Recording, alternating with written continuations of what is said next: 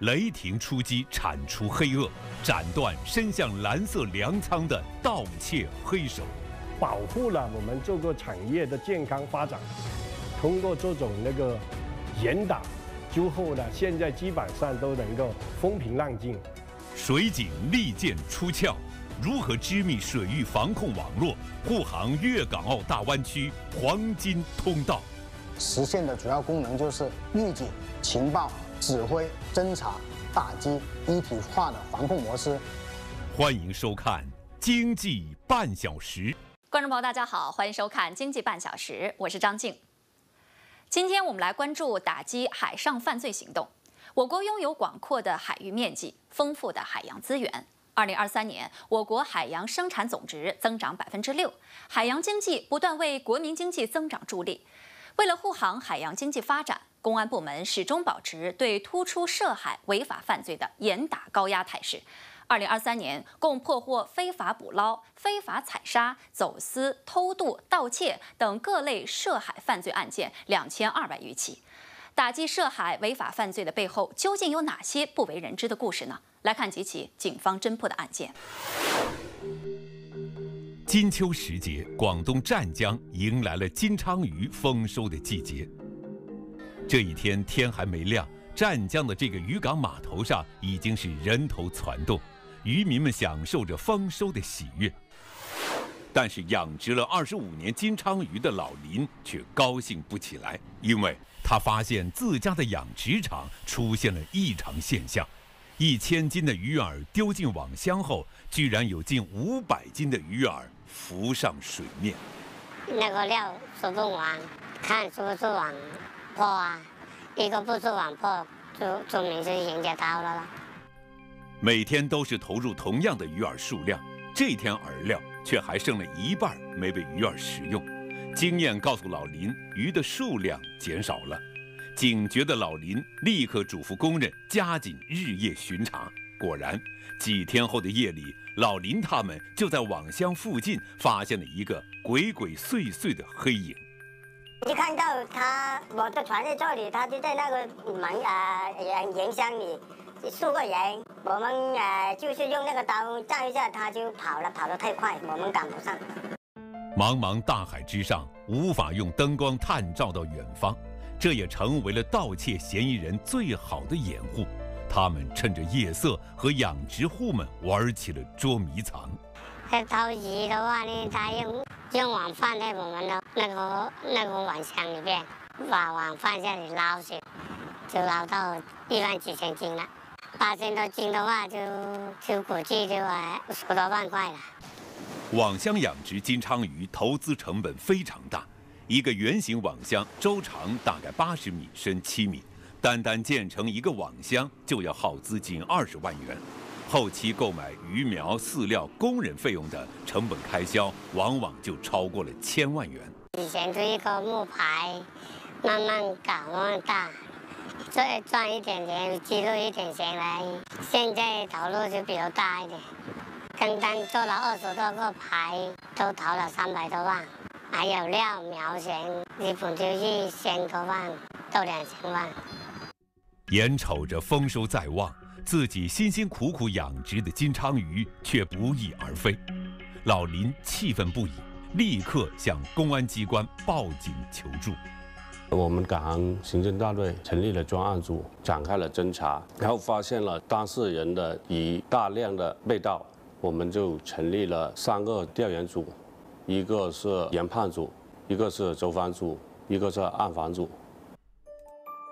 广东湛江三面环海。海岸线总长两千零二十三点六公里，海域面积两万多平方公里，凭借优良的生态环境，源源不断盛产大量天然优质海鲜产品。金鲳鱼就是当地海洋牧场的明星产品之一，相关从业人口近一百万，其产业链年产值达一百亿元，是令当地增收致富的黄金鱼。黄金鱼丢失引起了警方的高度重视。这个损失呢很大的，他偷的量很少，但是呢，他把网线打开之后呢，那些鱼就走了，所以有些就被他偷到破产。专案组迅速对湛江全市盗窃金昌鱼案件进行了认真梳理，从作案时间、作案区域、作案手法等方面进行了深入分析研判后，决定对多起案件展开并案侦查。这种类型的案件呢，它是有几个难点，呃，第一个是没有具体的案发时间，啊，没有目击证人，没有监控视频，所以也就造成了我们获取。线索难，侦查的这个过程比较难，然后后面就是审讯的定罪难。一直以来，由于海洋牧场不设围栏，范围又大，平时很难看管到位，海产品的丢失让养殖户们苦不堪言。尽快破案，捍卫渔民们的财产安全这块大石头压在了办案民警们的心上。但是，到哪里去寻找案件的突破口呢？我们专案组经过综合分析啊，既然有盗，那肯定有销，所以我们将目光转向这个销售市场。案发当地各大市场中，销售金鲳鱼的摊档少说也有上百家，养殖户们饲养的金鲳鱼身上也没有记号，侦查工作一度陷入困境，但民警们并没有放弃努力。我们走访市场的时候，发现了一个。比较可疑的商户，他这个人呢叫符某明，他是长期有固定的货源的金鲳鱼，而且这些金鲳鱼呢都是未满一斤的。按照市场规律，低于一斤的金鲳鱼价格不高，养殖户们通常会在金鲳鱼涨到一斤时进行统一的捕捞出售。民警很快锁定了符某明作为案件侦办的突破口。围绕符某明的社会关系展开全方位调查，果然从中发现了一位与符某明关系密切的男子陈某二，又发现了他与一个陈某二的人有频繁的这个交易记录，啊，由此我们就推断，这个陈某二就是将偷来的金枪鱼卖给这个胡某明。陈某二，他这个人有多次的犯罪前科，呃，而且他在他们村里面呢，有一定所谓的威信，所以他底下呢有一帮人，在这个实施盗窃这个整个过程之中呢，他会安排人上船与他一起去偷鱼，然后呢安排人运输，安排人提供这个柴油还有冰块，安排人在固定的地点等待他们这个鱼到来之后进行一个分拣打包。哎，我们去那边那条船那里啊，对，那个灯光亮着的地方，我们去看，我们去看一下。民警埋伏在陈某二经常出没的小码头和金鲳鱼被盗的养殖基地之间，很快就捕捉到了陈某二等人的身影。至此，一个盗销金鲳鱼的团伙逐渐浮出水面。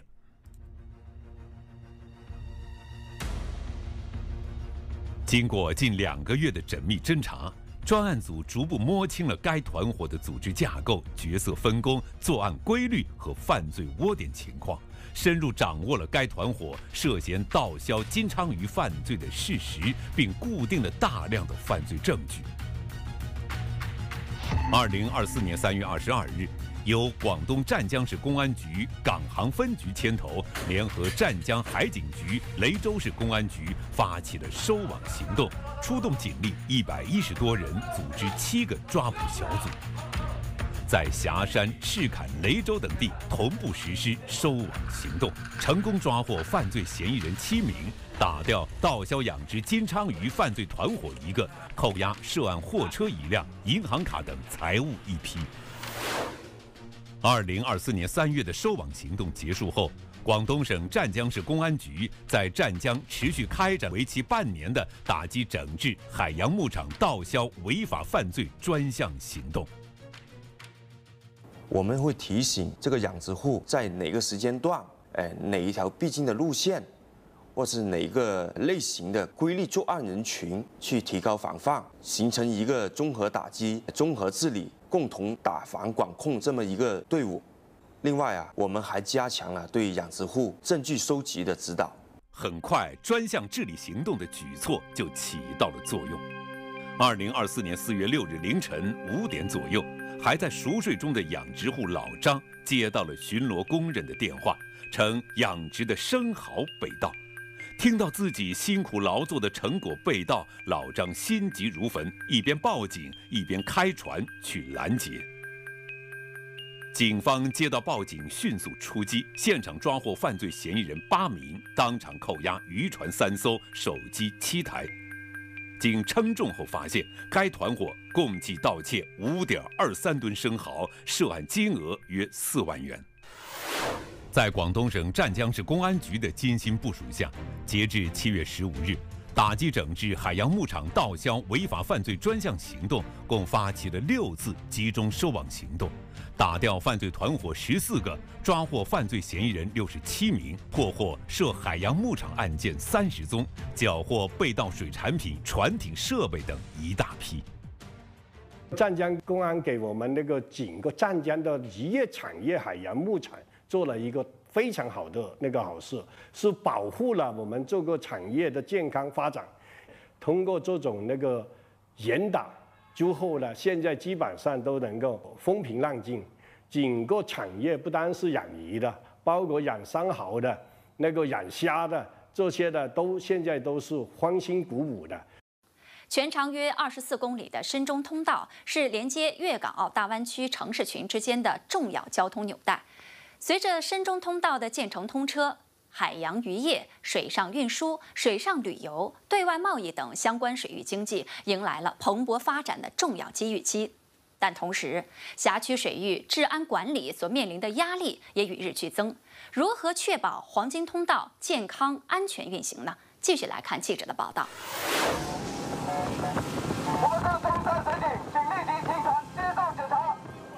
这是深中通道水上公安检查站的民警追击走私船只的执法画面。三十分钟前，广东中山市公安局打击走私支队三大队的民警通过雷达搜索，成功锁定了深中大桥附近水域的一艘可疑船艇。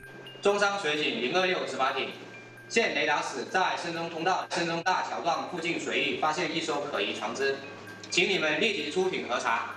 如果你是钓鱼艇哦，钓鱼艇，那你一般可能就会在某一个地方就停在那里了，是吧？这就一下子快，一下子慢，一下子快，一下子慢，这这个就是比比较可疑的地方。因为当天的这个海上环境还是比较黑，大概十多米你就看不到它的，所以说我们通过无人机指引我们的执法艇去追追踪它。因为无人机呢，它可以实时的把这个画面回传回来。这艘嫌疑船艇自以为可以瞒天过海，却不知道一举一动早已在警方的监控下无所遁形。为了逃避警方的追捕，嫌疑船艇通过抛掷物品、蛇形造浪、使用灭火器喷射民警等方式妨碍执法。首先是由第一条执法艇对他进行一个追捕，然后我们第二条执法艇就在后面，呃，打捞货物。面对疯狂逃窜的嫌疑船艇，警方执法艇追击合围，这艘嫌疑船艇被成功逼停。慢点，小心左边还有一艘。现场抓获船艇驾驶员两名，扣押涉案船艇一艘，并缴获走私龙虾二百零二点六公斤。二零二三年五月二十四日。位于广东省中山市马鞍岛最南端东六围片区的深中通道水上公安检查站正式启用，其位置紧邻珠海，与深圳宝安、广州南沙隔海相望，从水路到香港最快仅需四十分钟，为守护粤港澳大湾区水域秩序注入了一股新力量。这条船的全称叫做“海盾幺五五零”，是二零二二年中山市公安局与中山海事局以双反合作的模式交付给中山市公安局投入使用。这条趸船的总长八十五点五米，宽二十五米，行深二点四七米，常态化配备船艇五艘，能满足三十人同时定点驻守、执法办公。我们这个船呢，它是铝合金结构的，然后长度是十三米五，主要是由五台这个水星的发动机提供动力，每一艘的动力是三百五十匹，最高的这个速度可以达到五十九节，也就是我们地面速度的一百零九公里每小时。作为广东中山市水上执勤的重要驻守点、集结点、补给点，深中通道水上公安检查站的设立，使中山市水上防线整体前移了八公里，处置珠海横门口水域各类警情时长缩短了十五分钟。现在有没有什么渔获啊？今天，如果说你们晚上在这边的话，你发现有什么可疑的话，你到时候给一下我们电话了，好不好？广东中山地处珠海口西岸，粤港澳大湾区几何中心，滨海连江。随着珠海口东西两岸融合互动发展改革创新实验区和深中通道的建设，中山水域逐渐成为支撑粤港澳大湾区经济协同发展的黄金通道，水域治安管理面临的压力也与日俱增。二零二三年六月二十七日二十三时，深中通道水上公安检查站雷达专班收到一条预警，在雷达指引下，执法艇与一艘可疑船艇正面相遇，可疑船艇快速偏航，避开执法艇并掉头逃窜。当时我们出艇呢，是我们支队的这个两艘执法艇，然后再加翠新区分局啊，也有艘水面的这个执法艇。我们三艘艇去夹击的，所以这个形成一个合围的这个态势，然后他只有去冲滩，最后就搁浅。一切尽在民警的掌控之中。面对三艘执法艇的围堵，可疑快艇只能向着河堤方向一路狂奔，并在临海河堤冲滩。两名广西籍快艇驾驶员弃艇逃往岸上，被岸上警力一举抓获，而快艇上的五名偷渡人员也被警方成功抓获。我们有一个快分合围，就是岸上的警力跟我们这个水上的警力进行配合。当这个雷达指令一发出之后，岸上的警力呢也同时会到达指定的这个地点，相差的这个距离呢不会太远。所以他只要一冲滩，我们的岸上警力就可以对他进行实时抓捕。向右可进，向前跟。作为过滤水域各类风险的重要屏障，提升水域打防管控能力的重要载体，深中通道水上公安检查站实行二十四小时全天候勤务运作，日常重点开展对横门、红旗立两大出海口门以及马鞍岛沿线水域的巡逻防控。在一次巡逻中，执勤民警凭借丰富的经验和敏锐的洞察力，发现了红树林湿地公园中的可疑小渔船。哎，发现一艘可疑小木船！眼看执法艇驶来，小渔船不但没有停下，反而掉头就走，做贼心虚的举动立刻引起执法民警们的怀疑。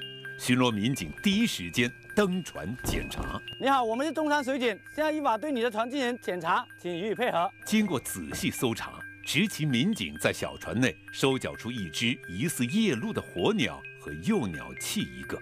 这个不是他第一天第一次来抓这个野生动物这些鸟子了，他有一些是在岸上拉一排网的话，他那个鸟呢，这分分钟都可能都飞到那个岸边去啊，然后都给网住。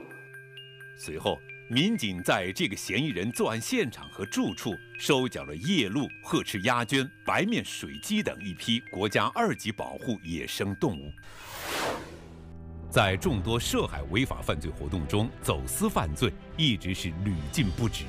受巨额利益诱惑，一些不法分子铤而走险，通过海路大肆实施走私活动，严重损害国家经济利益和市场秩序。二零二三年八月起。公安部会同有关部门联合部署，在全国开展打击海上走私犯罪专项行动，向各类海上走私犯罪发起凌厉攻势。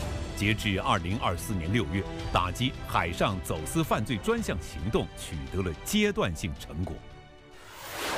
二零二四年一月。福建海警局获悉一条线索：一名高姓男子在福建沿海雇佣大型船舶，从事毒品走私活动，且多次途经我国南海，前往境外进行分销。福建海警局将这条线索通报给福建省公安厅，并成立了联合专案组进行侦办，成功锁定了毒品运输船舶。三月上旬的这一天，嫌疑船舶突然驶离辖区港口，专案组会同中国海警局南海分局、福建禁毒总队迅速海陆联动，同步收网。这天凌晨五时许。执法员在目标海域发现了嫌疑船舶，海警执法员准确把握时机，操纵舰艇进行追击，成功堵截控制了嫌疑船。不要！不要！不要！不要！把头上靠！上靠！对了！不要！上靠头上！快点！一一共几个？在这起特大走私毒品案中。警方缴获毒品近一点一吨，抓获犯罪嫌疑人九名，查扣运毒船一艘。二零二四年五月二十七日，广西防城港海警局在防城港市江平镇万尾附近海域开展“近海二零二四”打击海上走私专项行动。防城港海警局充分研判辖区形势，依托技术手段，派遣一百五十余名精锐执法力量及九艘执法艇，兵分多路，在万尾辖区海域严密布控，对走私团伙实施纵深打击。当天十六时许，海警执法艇发现前方有四艘疑似酒店船旁各停靠数艘摩托艇，海警执法员随即亮起警灯，并表明身份上前查缉。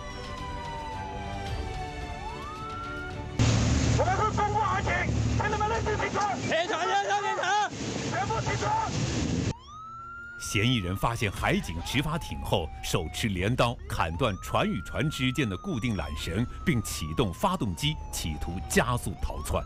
海警执法员立即采取航路管制，将船舶围追堵截在附近豪牌旁，同时利用有机时机跳到酒店船上，成功控制嫌疑人。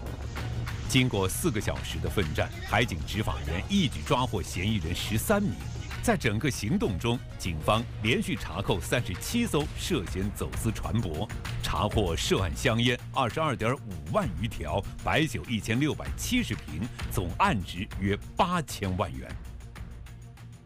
截至二零二四年六月二十八日，全国打击海上走私犯罪专项行动共侦破各类海上走私犯罪案件一千零八十七起。抓获犯罪嫌疑人五千八百四十六名，扣押涉案船舶六百三十八艘，查获冻品三点五万吨，成品油四千四百零六吨，香烟一点七亿支，农海产品三千三百六十六吨，矿产原料三十一万吨及酒类五点四万件。全国公安机关与有关部门密切配合，坚持海陆一体全链条打击，持续加大打击海上走私犯罪工作力度，全力服务保障经济社会高质量发展。海洋是高质量发展战略要地。在今天的节目中，我们看到，从斩断伸向海洋牧场的盗窃黑手，到护航粤港澳大湾区黄金通道，再到严打海上走私犯罪。全国各地公安机关始终保持对涉海违法犯罪的严打高压态势，结合不同海域和岸线的实际情况，深入研究把握海洋犯罪活动规律特点，集中攻坚，精准发力，深挖源头，严打幕后，一系列组合拳下来，让各种涉海违法犯罪活动得到有效遏制。我们相信，有了公安干警的保驾护航，我们向海图强蓝色动能将更加澎湃。我们今天的节目到这儿就结束了，感谢您的收看。了解更多财经资讯，欢迎下载央视财经客户端。再见。